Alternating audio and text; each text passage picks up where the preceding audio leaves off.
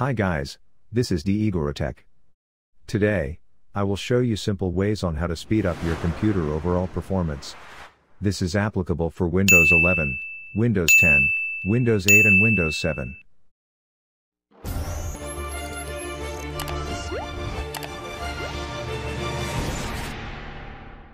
Let's begin.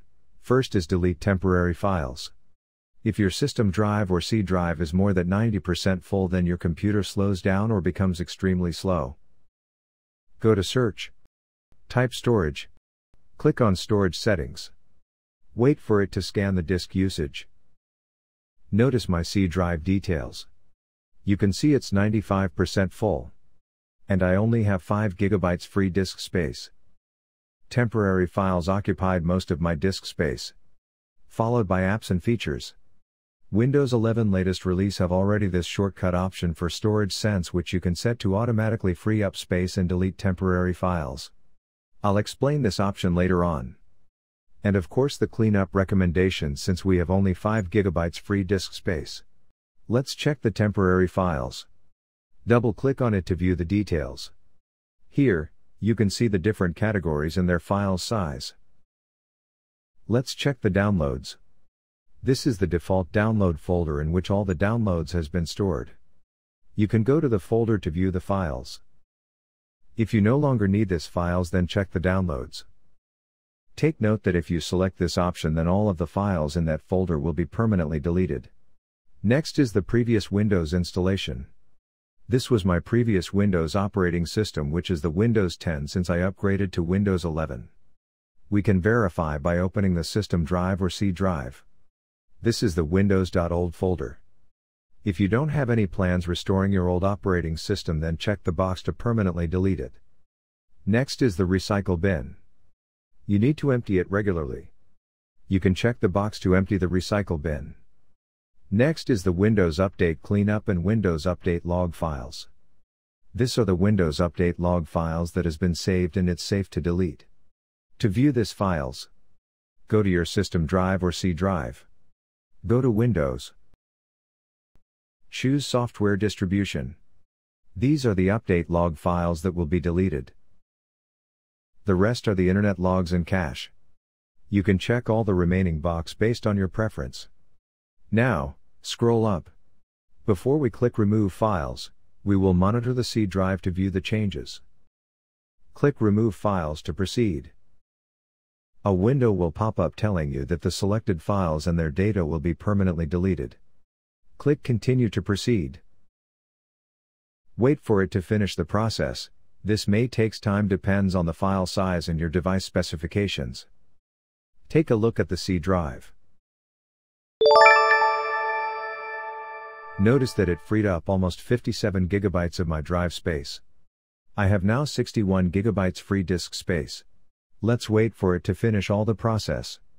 This process is very useful when it comes to speed and performance. Let's refresh it again. You can see that we still have 1.98 gigabytes temporary files. You can redo the process again.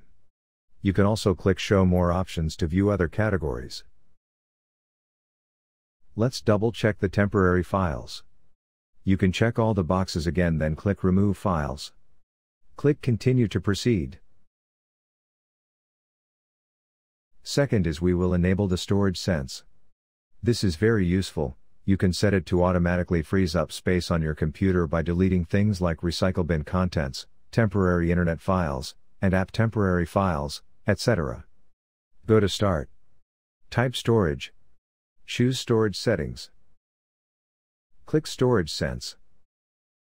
This are the default settings. You can modify it based on your preferences. You have the option for every day, every week and every month. The default is during low free disk space. For me, I usually choose every week.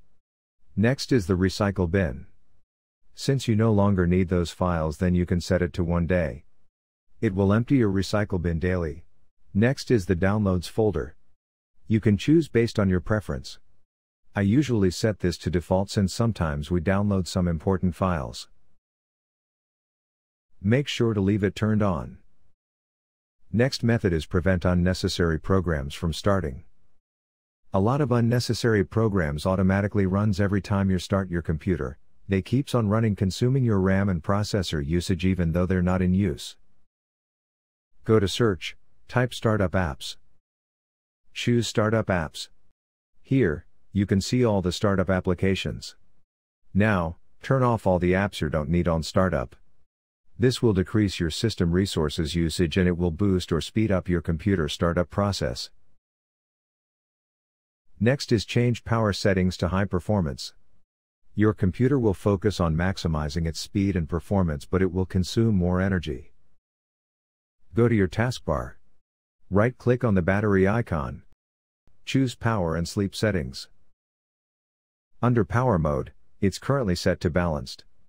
Click on it then change to Best Performance. This will optimize your device based on power use and performance. Next is check for Windows Update. You need to check your Windows Update regularly to fix bugs and also bring new features. This also ensure your computer is secure. Go to Start. Type Windows Update.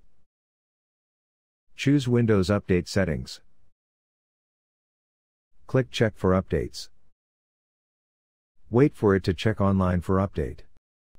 If it have new updates then it will auto download and install.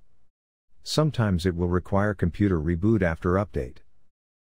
You can see my computer is up to date. Next is scan for viruses and malwares. Malware in action can consume a substantial amount of your computer's memory, leaving limited resources for other legitimate programs to use. This can lead to extremely sluggish performance of vital programs, like your internet browser or operating system. In short, it will slows PC overall performance. Go to Search. Type Windows Security. Choose Windows Security. Go to Virus and Threat Protection. Choose Scan Options. Check Full Scan. This could take longer because it will check all files and running programs on your hard disk. Scroll down and click Scan Now. Again, this may takes time depends on your file size and installed programs. You can see the estimated time remaining and also the files scanned. You may close the window and it will continue running on background. Next is change appearance and performance options. This will speed up your computer especially the old one or low specs computers. However you will lose all the visual effects. Go to search. Type adjust appearance. Choose adjust appearance and performance of windows. Notice that mostly visual effects are enabled. If we choose to adjust for best performance then all the visual effects will be disabled. Notice all the box have been unchecked or disabled. Click apply to save the changes. Next is disk defragmentation. Defragmenting your computer helps organize the data in your hard drive and can improve its performance tremendously, especially in terms of speed. If your computer is running slower than usual, it might be due for a defrag. Go to search. Type defragment. Choose defragment and optimize drives. Choose the system drive. You can see I'm using solid state drive. If you are using solid state drive then no need to defrag your drive. However, I will still show you how to defrag your drive in case you are using hard disk drive. Click Optimize. After disk defragment, the status will change to OK. If your drive has some issue then you will receive some errors. Next is update device drivers. You should always make sure that your device drivers are properly updated. Not only will this keep your computer in good operating condition, it can save it from potentially expensive problems down the line. Neglecting device driver updates are a common cause of serious computer problems. Right click on this PC or my computer. Choose Manage. Go to Device Manager. Make sure all this device drivers are up to date especially the display adapters. Right click on it. Update driver. Search automatically for drivers. You can see the best drivers are already installed. If you have some issues updating your device drivers, you can go directly to your computer's manufacturer official website. Search for your device model and manually download and install the drivers. Well, that's all for today's demonstration and I really hope you liked this video.